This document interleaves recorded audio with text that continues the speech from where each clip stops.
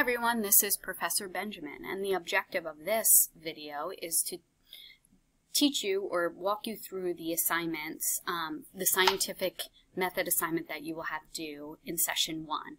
The reason that we cover the scientific method in environmental science is because it is definitely a prevalent tool that's used throughout the scientific community and scientific um, and environmental science is a science. Um, so we cover this uh, throughout this entire course. We cover scientific reasoning, we cover scientific inquiry, we cover the steps of the scientific method, we cover um, scientific primary texts. So we do a lot throughout this course um, with, with um, the scientific method and scientific reasoning um, because this is a science course. So the first assignment that you're going to have due this semester is the scientific method assignment.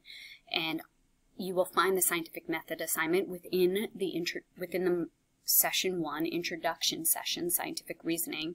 Towards the bottom you always find the assignments. I will click on the assignment and I will open the assignment. And right here it tells me about the assignment. So if you are using the app or if you're using um, a some other tools, a lot of times you may not be able to see all of this information. So it's absolutely essential that you use a computer um, or some sort of laptop um, or a pretty um, intense iPad system. I use a Surface Pro, um, so everyone uses their own tools. But if you're using this on a phone, you most you most likely will not be able to succeed or complete these assignments.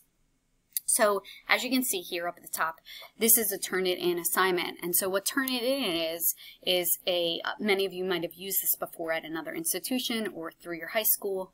Um, and this is um, a software that you can use that will give you feedback on grammar, on mechanics, um, on other things. It also will give you feedback on plagiarism. So it'll tell you whether um, you source something properly or you didn't source that at all. And if you did not do that, you of course want to change that. Now with this assignment, there's going to be less plagiarism because most of this information um, is you typing in the answers um, from your knowledge. Um, but for other assignments in the future in the semester, you're going to be writing. So you're going to be in paragraph format, etc. In this assignment, you're just filling in worksheets. Um, but in the future, you'll definitely want to use Turnitin. And in fact, you're required to use Turnitin so that you're given feedback. Typically, the feedback is immediate it may not happen that way. If it doesn't happen for you immediately, just submit the assignment anyway, and then we can work out the kinks later.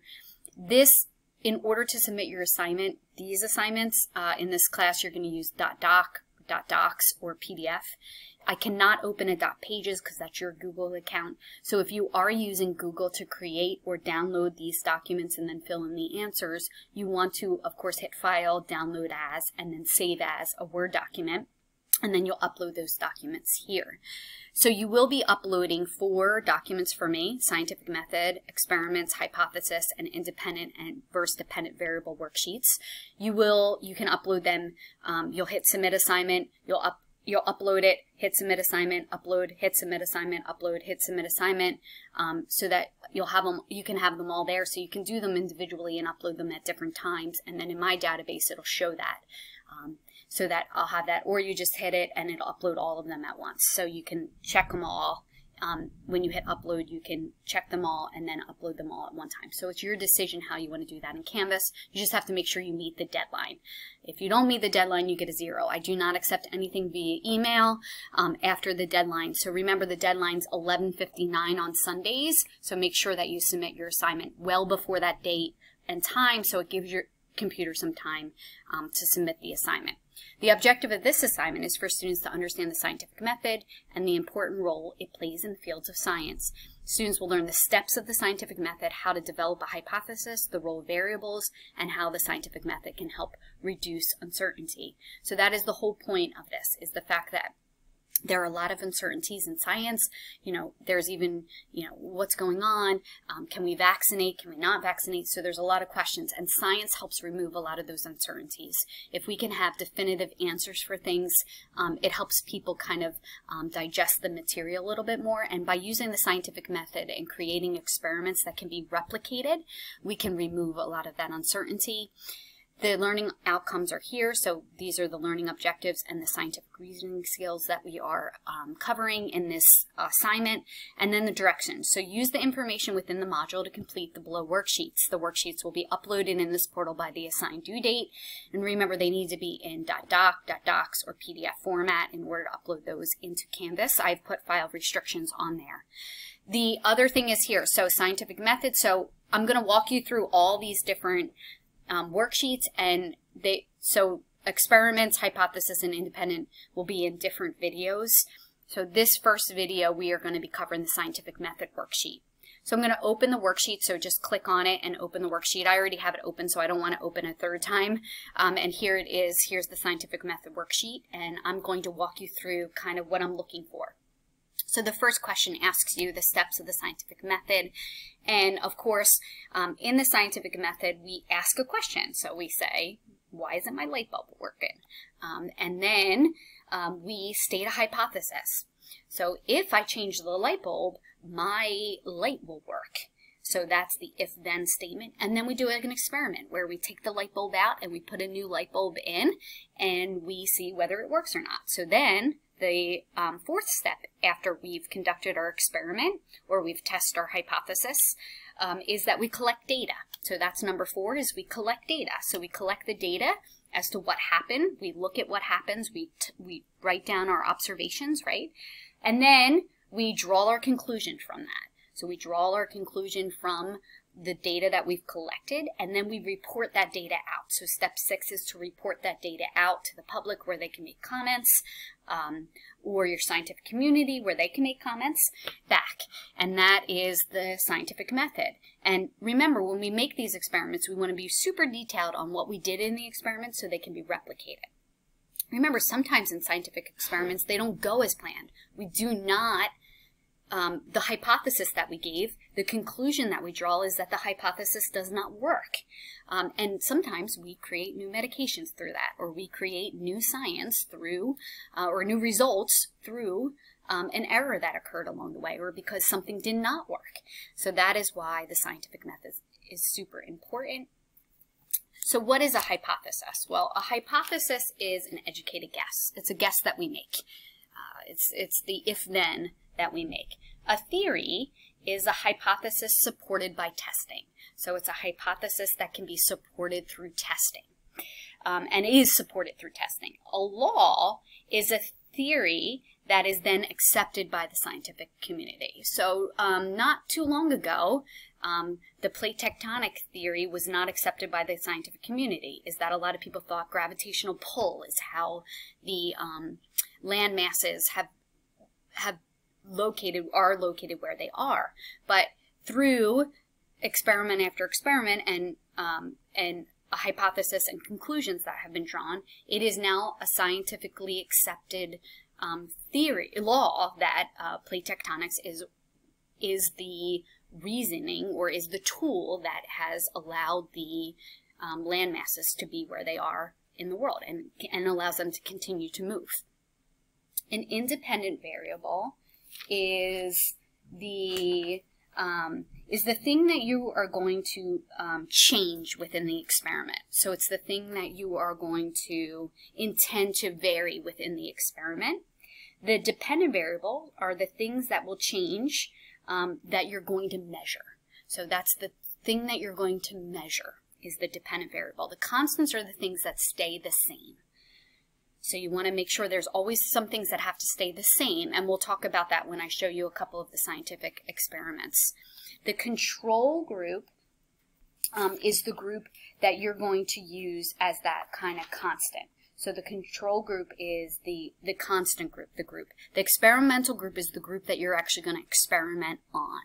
The control group is the group that you kind of use. And you'll hear a lot of people talk about this in terms of medication. Are you the control group or the experimental group?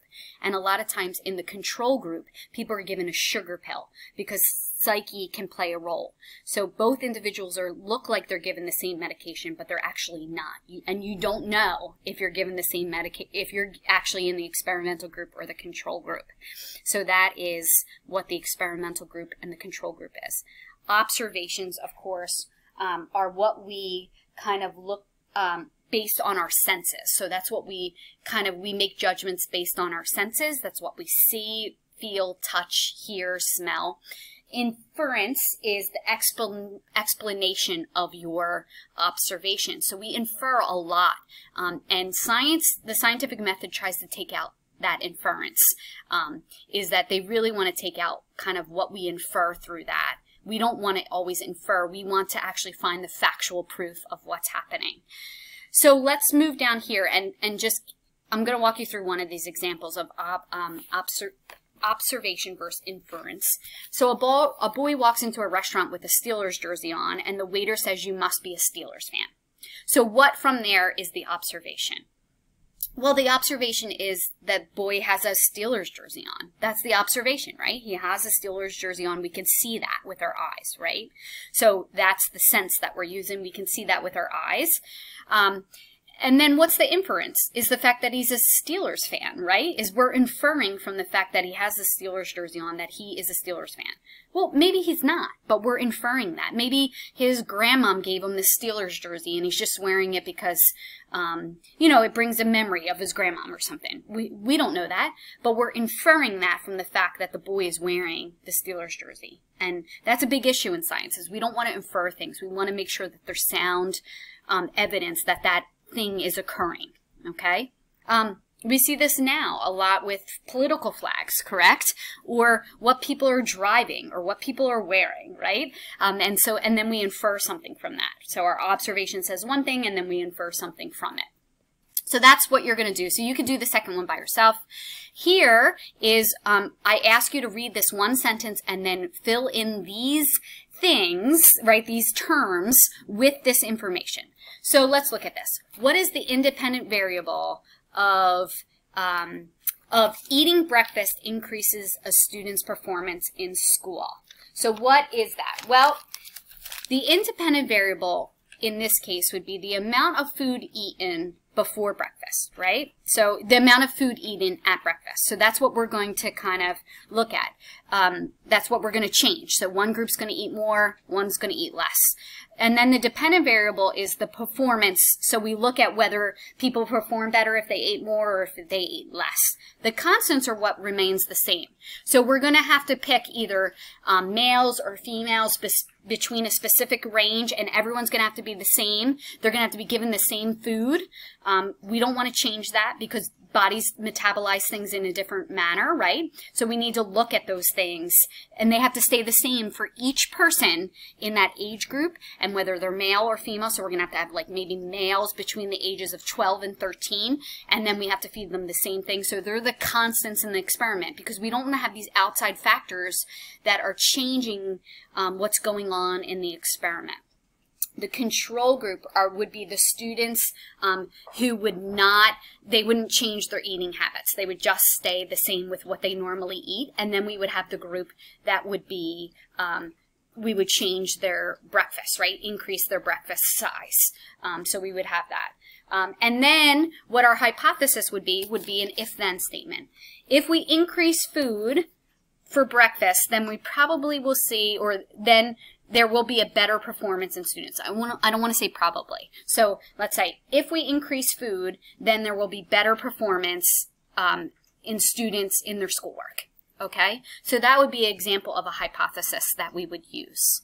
All right, so that is the independent, dependent, constants, control group, experimental group, and hypothesis.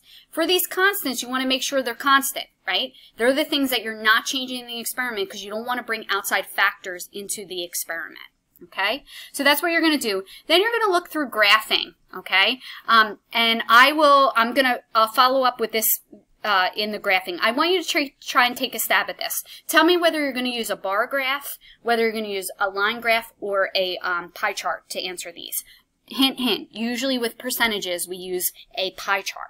Okay? Um, usually with percentages, we use a pie chart. So I want you to try and fill in. You're going to either use um, pie, um, line, or bar. And then you're going to answer these questions. And I don't want to give you these answers. I want you to try and take a stab at these. Okay? And try and see if you get them right. All right? And you'll, you, you should be able to with using some of the information you learned above. I hope this video helped you at least get through this first worksheet in the scientific method.